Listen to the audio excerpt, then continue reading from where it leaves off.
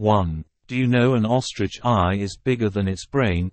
Its eyes are around the size of a billiard ball. One eye is also smaller than the other.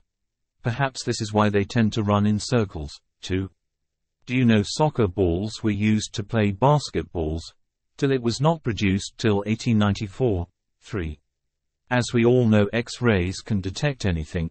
But one thing they can't the real diamonds. 4. We all wear shoes but did we ever thought what's the tip of shoelaces called? They are called aglets. 5. How many people become millionaires in United States?